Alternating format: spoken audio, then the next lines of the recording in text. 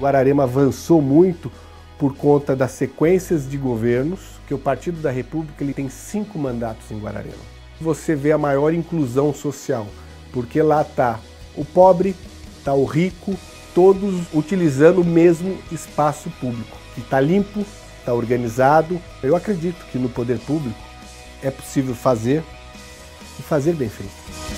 Partido da República